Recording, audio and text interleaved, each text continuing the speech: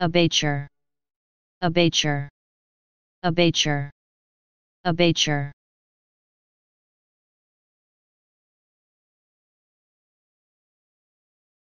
Please subscribe and thanks for watching.